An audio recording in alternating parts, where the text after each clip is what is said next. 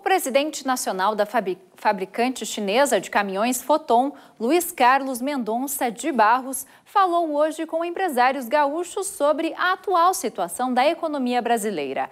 A montadora está construindo uma unidade em Guaíba, na região metropolitana de Porto Alegre, e a previsão é de que a fábrica entre em operação em 2017.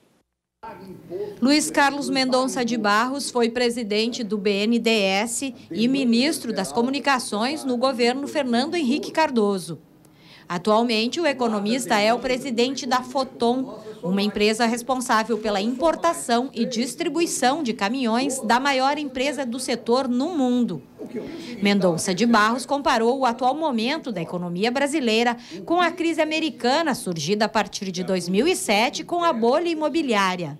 A economia americana era uma bolha basicamente na área imobiliária, mas tinha uma coisa pior. Teve uma crise bancária. Nós não temos crise bancária, tá?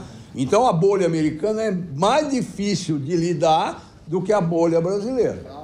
Mendonça de Barros também falou sobre as previsões de recuperação da economia brasileira. Quando acontece uma bolha num, num, numa sociedade, só tem um jeito para sair da bolha.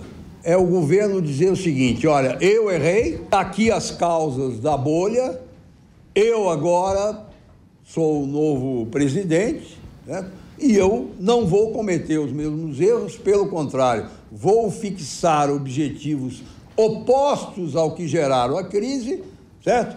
E aí, se isso acontecer, a economia começa a recuperar naturalmente.